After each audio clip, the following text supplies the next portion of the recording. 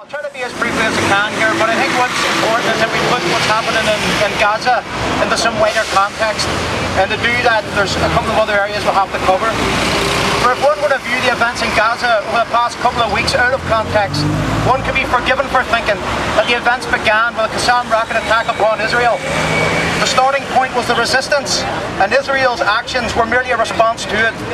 This is, after all, how Israel and its allies in the Western media have framed it. However, even a cursory analysis of the situation would reveal that the Qassam rocket attacks are a reaction to the illegal occupation of Palestine. First comes the occupation and then comes the resistance. It simply doesn't happen the other way around. This latest attack on the people of Gaza has left more than 120 people dead, of whom one in five were children and over half were civilians. And whilst these attacks are horrendous, it would be a mistake for anyone here to view them as anything but standard fare in that part of the world. In fact, it would be a mistake to view this wanton slaughter of innocents as being in any way unique or out of the ordinary. For the state of Israel has threatened worse and has indeed done worse. Just the other week, Israel's Deputy Defence Minister threatened the Palestinian people with a Shoah. A Shoah is a Holocaust. Shoah is a term that is rarely used except when referring to the Holocaust carried out by the Nazis. In an attempt at damage limitation, various figures of authority in Israel have assured the world that our translation is inaccurate, that the Palestinian people haven't been threatened with a Holocaust, but merely a calamity or a disaster. Whatever it translates as, what it threatens the Palestinian people with is genocide. In a piece titled Eight Stages of Genocide, Greg Stanton, of the president of Genocide Watch, sets out a number of warning signs of an impending genocide, including the dehumanization of victims groups and preparation whereby potential victims are often segregated into ghettos or confined to a famine-struck region and starved. Whilst this may seem improbable in the case of Palestine, and of Gaza in particular, we would do well to reflect on the current conditions in Gaza, which are entirely man-made conditions. The population of Gaza has been herded into and confined to the most densely populated area on earth. Israel has peddled the myth that it withdrew from Gaza and therefore cannot be viewed as an occupying force. Yet, through its control of the land borders, the airspace and the coastline of Gaza, it has turned it into one of the largest open-air prisons in the world. Agencies such as Amnesty International, Christian Aid and Oxfam have warned how aid dependency in Gaza has risen sharply in 1999, the United Nations Relief and Works Agency for Palestinian refugees provided food to some 16,000 families in the enclave. That figure now stands at a shocking 1.1 million.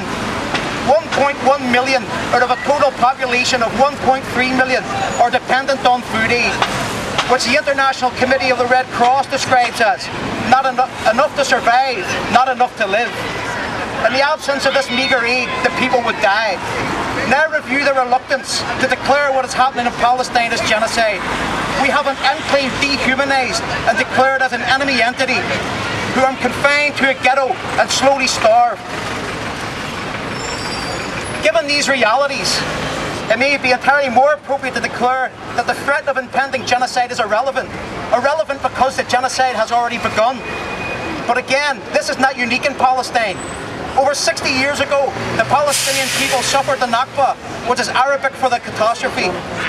Upon illegally declaring the State of Israel on May 14, 1948, 750,000 Palestinian people were assigned the role of refugee. Through a mixture of mayhem, massacre and expulsion, 750,000 Palestinians were driven from their homes and villages in what a prominent Israeli historian, Ilan Pappé, describes as an ethnic cleansing despite a UN General Assembly resolution resolving that the Palestinian refugees wishing to return to their homes should be permitted to do so at the earliest practical date. 60 years on, Israel still forbids Palestinians to do so. 60 years on, the Palestinian refugees, now 4 million in all, some two-thirds of the Palestinian population, remain dis dispossessed and dislocated. On the 60th anniversary of the Universal Declaration of Human Rights, the rights enshrined in them, the right of return for the Palestinian people remains unfulfilled. The Zionists stand condemned, condemned to flout the Universal Declaration of Human Rights, of contravening the, Geneva, the Geneva Convention, and defying over 30 UN Security Council resolutions. It surely deserves its title of being a rogue state. Obtaining a right infers that there is a duty upon someone to recognise that right. There is a duty upon someone to defend and uphold that right. And as the elites in the international community have abjectly failed in defending the rights of the Palestinian people, and as they have ab absolutely refused to uphold the rights of the people in Iraq, it falls to us to ensure that these rights are obtained. It falls to the people gathered here today and to the other progressives gathered across the globe to ensure that people get what is due to them. It falls to us to declare that we'll continue to protest, that we'll continue to agitate until the occupation of Iraq is ended and the people of Palestine are free.